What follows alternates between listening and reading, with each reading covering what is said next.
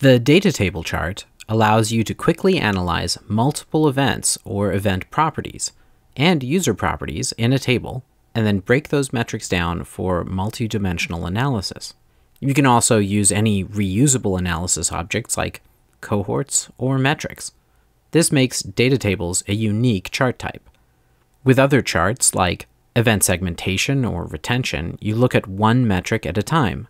Below those charts are breakdown tables. Well, breakdown tables are also tables. They only represent the data shown in the chart above.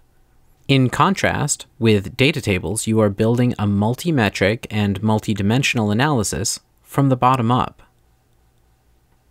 Some common use cases might be trend investigation, where you can quickly and easily break down a number by multiple properties, comparing time periods across multiple metrics, so you could have metric A, metric B, and metric C broken down by category, and then compared to last quarter, marketing attribution, where you're measuring total visits, page views, conversion rate, broken out by UTM source, or market segment analysis, where you're comparing several actions broken down by country, or even experiment analysis, where you're comparing multiple metrics by control, and then also comparing to multiple variant groups.